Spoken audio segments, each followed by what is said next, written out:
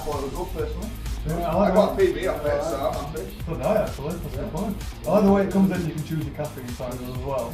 So you just need a wee pick me up before it's going to go off your tips. Well, I, I normally take a hell of a load of caffeine as well. Um, it weren't as much I normally take, and it hit me like a bump. But yeah, I have, I have, I have different ones than I usually take quite taking four or five scoops. Yeah. And I got like two and I felt it this time. Yeah. Well, well, one portion, but I don't want one portion. The other feel awake, you don't feel like you're actually under anything. You just feel like all up, ready to go. I got a bit of a pump for the first time in about three years, which is quite nice.